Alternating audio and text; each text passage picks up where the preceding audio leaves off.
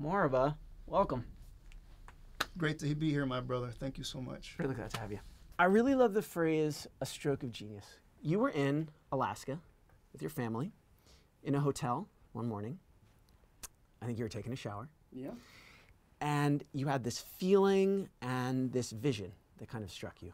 And uh, you know, whether or not it, it, it has anything at all to do with genius.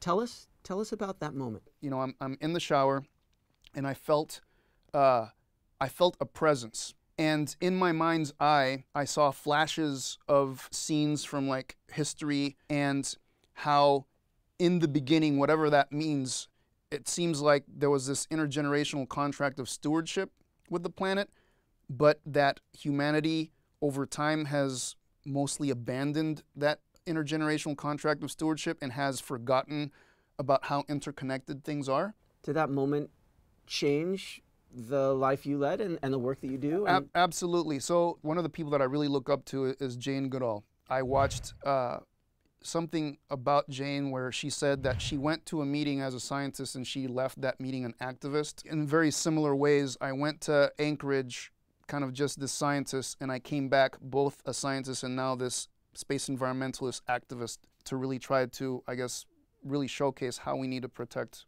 orbital space. If there's a kind of genius that means something to you, something that you would want to live up to or something you'd want to recognize in yourself, what would that what would that kind of genius like actually look like? To me, the best kind of genius is simply allowing myself to let the universe go through me and I guess use me as some sort of vehicle for the work that I'm trying to do. And if I can keep myself kind of in the moment and in a place of compassion and empathy, then I think genius is just what comes through when you allow that to happen. There's more garbage orbiting the Earth than there are working satellites. You now work not just to make sure that all that stuff is properly tracked, but to be an evangelist for expanding the way we think about environmental protection so that it includes all that stuff. What can those of us who are not scientists, what can we do to, to help you?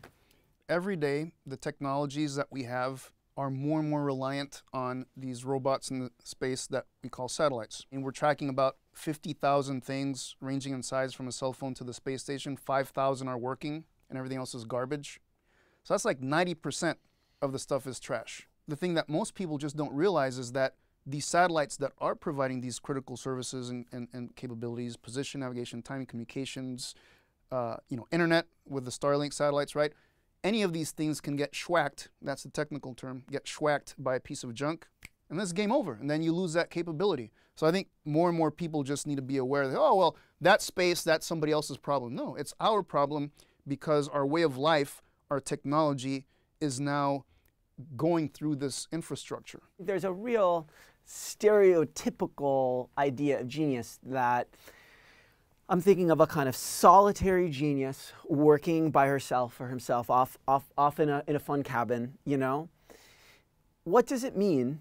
What would it mean to be a, a genius collaborator? Back in the times of like the Renaissance, people looked at folks like you know, Da Vinci, Michelangelo, and they said, okay, these are geniuses in, in their own right, right? And people say, well, how can we, how can anybody be like another one of those? Science has developed so much beyond those days that there's no way for somebody to be able to be, quote unquote, this Renaissance person that knows very deeply things in all these different fields. Like those days are gone, okay? But to me, the real genius is recognizing where you bring in smart people from other fields that complement and augment your own to solve wicked problems. Yeah, con connectedness, connections Absolutely. with one another. Yeah. But my understanding, though, from, from reading a little bit of your writing, is that you were, um, I, th I think in your childhood, you, you felt really isolated. I did, yeah. My mom was born in Haiti, uh, and you know, she was naturalized citizen. My father, Sierra Leone, naturalized citizen. Um, they got divorced when I was very young, and uh, yeah, it, my my father was just very abusive. At the age of seven, uh, he kidnapped me, and nine days later, they found me in some apartment in the Bay Area, put me back on a plane to my mom, And my mom had, uh, well, we had a cousin that lived in Caracas, and so we fled the country because my mom's like, you know, I don't want your father to ever find you again. He never uh, did physically again. But growing up in Venezuela, I felt very isolated. I felt very alone. I came into contact in this void with what seemed to feel like an ocean of infinite love and compassion. And then I realized, oh, I have a choice here. I can choose to meet my experiences with equal anger, or I can choose to act from a place of love and compassion and heal, heal from my pain and make my healing be of service to others. And that's what I've chosen to do. Hmm. When the MacArthur Foundation, when they named you a fellow, they said it was because, they used a beautiful phrase, it's because you envision transparent and collaborative solutions for the Earth's orbital spheres. What are those solutions? And, and maybe when, when are they coming? My inspiration for this comes from uh, indigenous people, from traditional ecological knowledge, TEK, I call it ancient tech. And so for me, my, my, the vision of my future is seeing Western science and traditional ecological knowledge come together, not annihilate each other, but actually harmonize uh, with each other so that then that could be the way of the future so that humanity does recognize interconnectedness, empathy, and stewardship. Thank you so much for being here and sharing your story, sharing yourself. Thank you, brother. Truly enjoyed it. Thank you. Watch the Businessweek show Thursday nights, 10:30 Eastern on Bloomberg Television or 8:30 on Bloomberg.com or the Bloomberg app on connected TVs.